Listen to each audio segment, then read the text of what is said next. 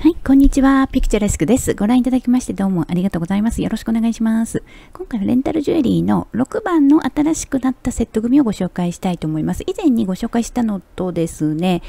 結構変わったと思いますので、そこをがどんな風に変わったのかっていう感じなんですけど、あの、ちょっと思いっきり変えたところがですね、お花モチーフが登場したってことなんですね。前はですね、レンの、あの、ブルートパーズとピンクトパーズの組み合わせの連で作ったボタンカットのショートネックレスを2連にしてたものだったんですね。それをあのまあちょっとトパーズの名残を残すということでトパーズが入ってたりするしピンクとブルーっていう基調の色は残したんですけれどもだいぶイメージが変わると思いまして段差のねネックレスのペンダントというかねそれをあのお花でやっていくっていう感じで、ちょっと可愛い感じになったのかもしれませんけれども、それをご紹介していきたいと思いますね。よろしくお願いします。はい、こちらがね、段差が、あの、結構間空いてますけど、まあ、こういう間の空き具合のものも作ってみようと思って40センチと50センチにしたタイプなんですけれども、それの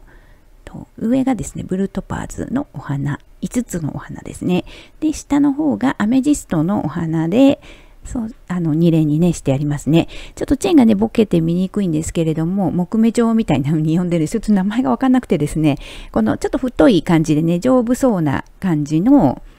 あの、チェーンをつけて、持ってきていますね。それで、この段差で、まあ、寒色系のこの、ここにつながっていって、後のものが、この色がですね、ちょっと揃えていくってことになってますんで、また見ててください。色のことちょっと注目してもらいたいと思います。チェーンとかは18金ホワイトゴールドになりますね。スレッドはね、変えてないのでこのままなんですけど、前ものと変わってないです。あのダイヤ、テニスブレスって呼ぶやつですね。いわゆる典型的なテニスブレスでもうよくあるタイプなんですけど、まあこれも一つあってもいいかなと思って一つね、あの、入れてみているんですけれども、ちょっと華奢めなのでね、もう一つブレスが来るんですけど、ダイヤモンドの1カラット分これだけであって、18金ホワイトゴールドの台でカチャッとはめるタイプですね。なぜカチャッとなのかということ、台、台と関連していて、台があるものっていうのがテニスブレス、そこにずっとエタニティにガッと並んでいるフルな感じで一連に並んでるんですけど、それの場合に、あの、大体この留め具がですね、ちょっと見えないんですけど、パチってはめ込むタイプの留め具に、スクエアみたいな感じですね。そういうのになっていますね。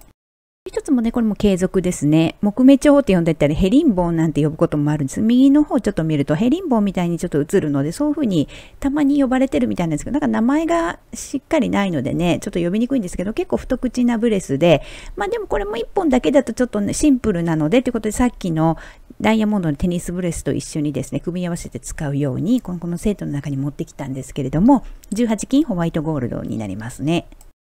そしてね、可愛いお花が登場しましたけれども、このお花が5つの花びらであることが、まあ、ペンダントとすごく似ていて、あのここにぴったりなんじゃないかって思うぐらいなんですけど石が若干でちょっと違いましてねそれがまた面白いのかもしれなくてぴったりより1つだけあのブルートパーズが